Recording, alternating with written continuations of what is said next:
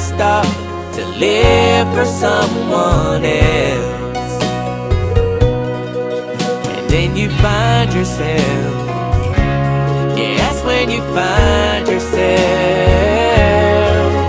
We go through life so sure of where we're heading, and then we wind up lost.